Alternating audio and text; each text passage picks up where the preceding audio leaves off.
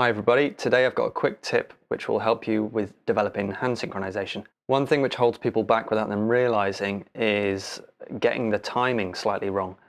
Um, I've noticed this more with triplets uh, than anything else, so I'm going to use triplets to demonstrate this fact. So let's say that you've got a metronome click of uh, one, two, three, four, constantly going, and uh, you want to play triplets over that. So over that one, two, three, four, you'd go one, two, three, one, two, three, one, two, three, one, two, three. Okay, that's what you're aiming for. What often happens is something which sounds like this.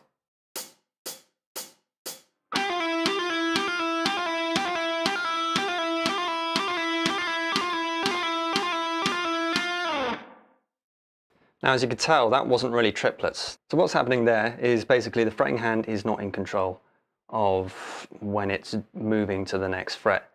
A lot of that is to do with a lack of finger strength. It's a bit like having, uh, it's like trying to rush through an exercise. Let's say you're not very strong in trying to do a load of press ups or some sort of exercise. Um, what you tend to do is try to rush through it, don't you? Because you can't really control the movements. It's a bit like that with uh, your fretting hand because the, muscles aren't really quite developed yet. They tend to sort of rush through because they can't hold themselves in a certain position.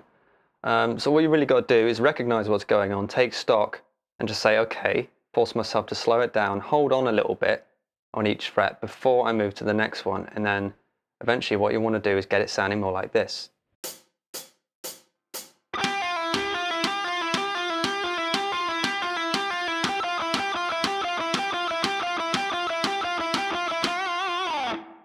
So you could hear that there was definitely triplets going on there. It's one, two, three, one, two, three, one, two, three, one, two, three. Okay, and all you got to do is just recognize what's going on and just force your fingers not to move when they're not supposed to. Actually, make them hang on a little bit longer before pulling off, pulling off to the next one.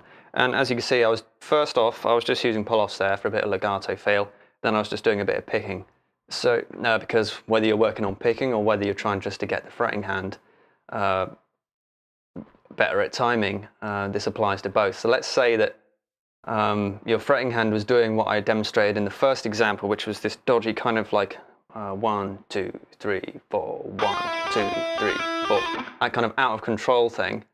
But maybe your picking hand can actually play pretty well on triplets. So that's going like one, two, three, four, five, six, one, two, three, four, five, six. But if you've got a fretting hand which is doing the first thing, then it's no wonder they're not going to sync up no matter how much practice you do and how much stamina you try and build.